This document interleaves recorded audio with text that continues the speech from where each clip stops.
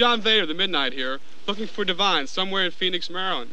Divine, you're looking fantastic. Why, thank you, Mr. Vader. I'm so glad you could come. Nat Krazan here from the Tatler. Well, good afternoon, Mr. Kazan. Gentlemen, get ready, because you're about to witness the trial of these two unfortunates, commonly known as Connie and Raymond Marble. Their trial will take place in front of your very eyes, and their execution will follow. We're going to witness an actual murder? A live homicide? That is right, gentlemen. Goldstein, Larry Goldstein. Very tempting.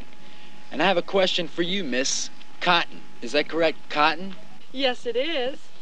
Are you a willing accomplice to these murders that are about to take place? This is not exactly a murder, Mr. Goldstein. This is a court, a kangaroo court, as the headlines could scream. Not a mere murder, as you would call it. If we were involved in merely another murder, it could hardly be headlines. It's not just the publicity. My mama couldn't go on her everyday life with this kind of shit going on. My mama was not the aggressor in this little war we had. She only did what had to be done. It was suicide on their part. And Cotton, I notice a smile on your lips. Does murder make you happy? Murder merely relieves tension, Mr. Krazan. For murder to bring happiness, one must already be happy. And I am, completely at peace with myself, totally happy.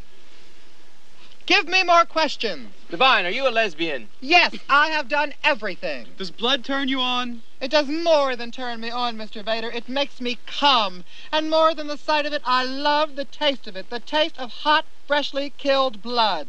Could you give us some of your political beliefs? Kill everyone now. Condone first degree murder. Advocate cannibalism. Eat shit.